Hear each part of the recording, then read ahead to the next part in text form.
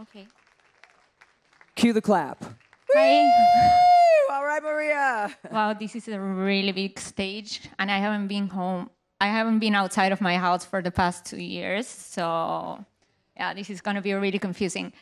So, I am María Paula Fernández. I'm co-founder at JPEG. It's a curation protocol. It's uh, spelled JPG, but it's JPEG, as you know, you all know. And I'm going to be th- talking a little bit about long-term thinking initiatives uh, for NFTs, uh, especially in the light of you know having around 10k PFP projects per day, which is something crazy. Maybe yeah, maybe I don't have the figure right, but yeah, you know what I mean. So, anyways, um, first, uh, who I am, a little bit of background. I started with NFTs in 2018 um, sort of by chance. Uh, I organized one of the first conferences on NFTs. And right after that time, I actually founded my first grassroots organization in Berlin that's called the Department of Decentralization, where one of the strongest things that we actually do is uh, to work with blockchain and art, uh, NFTs, and of course, uh, art informed uh, and that uses blockchain as a medium. So we started researching with the Department of Decentralization about NFTs and other aspects. In 2019, we published the first paper that actually became one of the first and maybe the only one so far, uh, sort of more academic publications about NFTs. Um, that's 2019, so basically some of you weren't even born, maybe, uh, since everyone's very young here too. And uh, yeah, in, we continued the research. We curated some shows as well uh, with NFTs and digital art. And uh, comes the time uh, we were going to publish our second pa paper.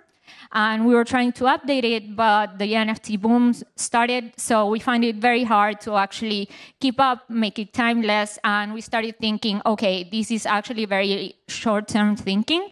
Everything is happening very fast. So, what's the best uh, way to achieve some degree of timelessness, but also to achieve a healthier ecosystem? So, basically, fast forward, uh, you know, around two, uh, February this year, uh, we were still facing the COVID crisis. Um, the, uh, the NFT boom had started, and you know, the creatives were sort of in the fence because not everything was selling, just as now and we still needed to create more infrastructure.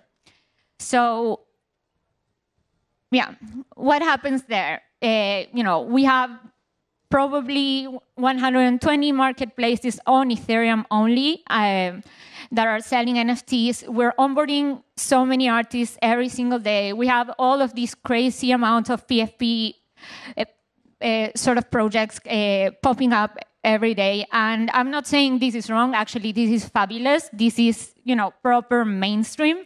And been working in the space since 2018. And I've never thought that this day would come, uh, especially so fast, uh, you know. So, you know, I have some ideas about how to achieve longevity and sustainability uh, for artist practice, first of all because they uh, creatives have to be preserved, but also for the space. You know, uh, one of the key things is actually to create a supporting infrastructure for the marketplaces. Not everything has to be uh, buy, uh, buy and sell, and that's uh, you know the transactional interaction is not the only one that should be happening.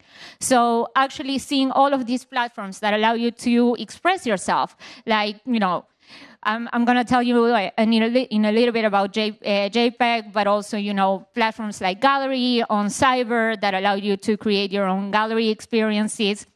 Museums like, like MoCA that are building some kind of like community archive and museum, and uh, as well, you know, they're creating their own curated experiences are incredibly important to the space. Of course, um, you know, it is a free market, it goes very, very fast. Um, but people need still need handholding and support.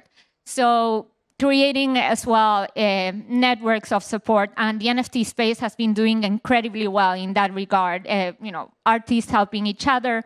Um, onboarding new people, um, teaching them how to use the Web3 tools that are improving in uh, UX but are still not quite there.